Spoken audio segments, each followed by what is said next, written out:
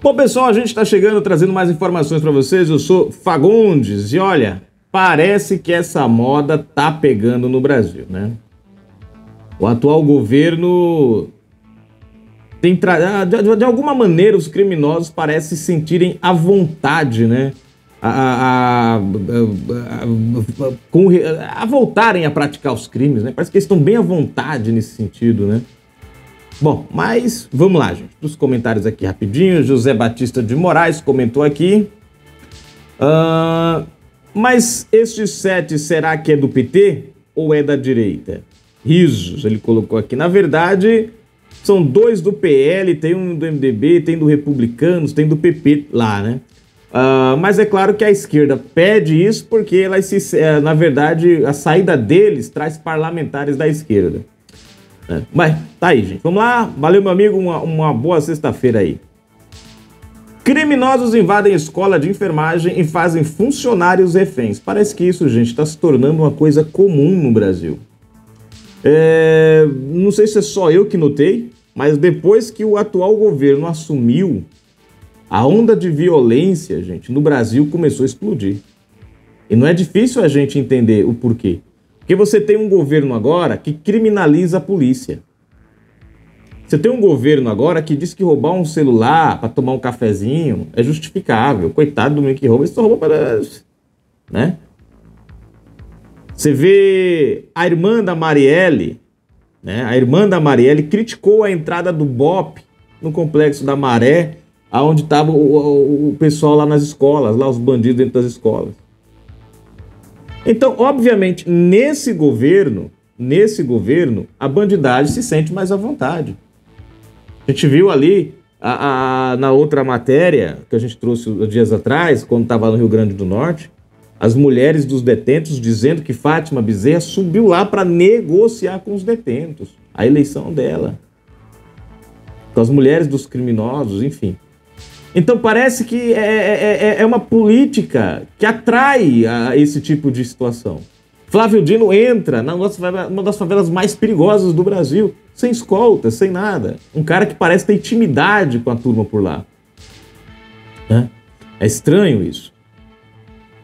Bom, mas vamos para a matéria, né? Olha o título, só de novo o título, ó.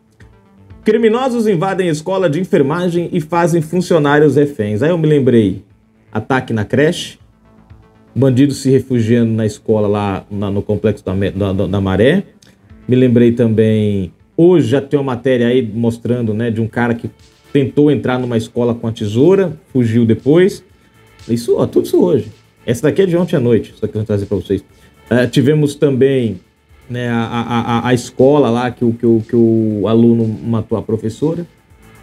Cara, parece que o novo alvo da, da, da bandidagem agora é a escola, né? Mas vamos para a matéria. Se você não é inscrito no canal, se inscreve agora mesmo.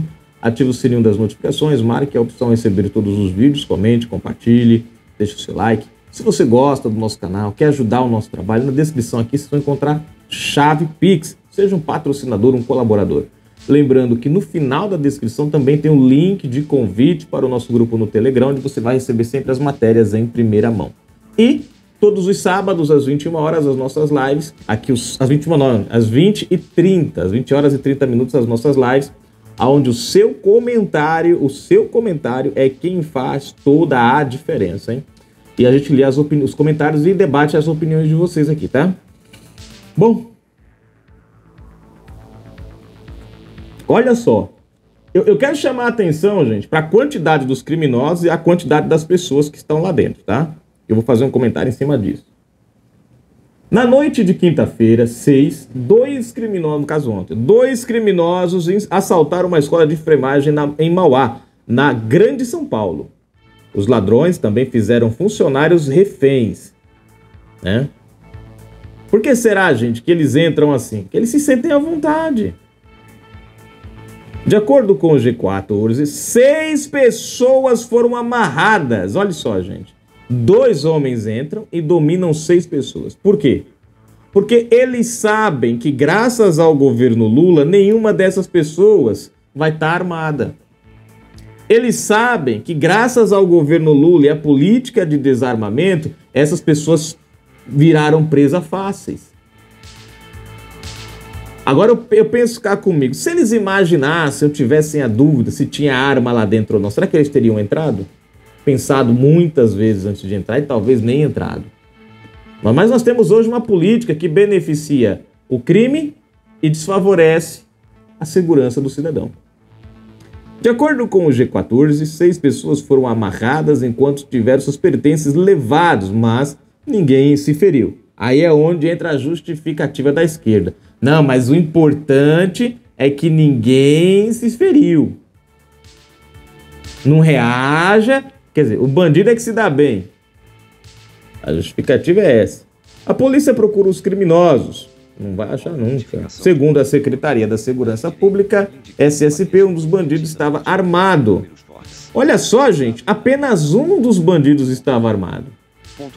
Seis pessoas, dois bandidos, um armado. Vou ler de novo. Segundo a Secretaria da Segurança Pública, SSP, um dos bandidos estava armado. Eles entraram no prédio depois de conseguir render um funcionário. Direita, Foram roubados quatro celulares, além de dinheiro e talões de cheques. www. Aí a matéria. É, Para vocês verem. Para vocês verem o que é o nosso Brasil. Segurança zero, gente. Criminalidade bombando de volta. Faz o L. Jocinela Loyola, minha amiga, comentou aqui. Nesta briga, eu torço pela briga. Risos de novo aqui. Armação, vídeo de Guilherme Boulos e da Atena foi uma tentativa para manipular o PT. Próximo comentário, deixa eu ver quem é.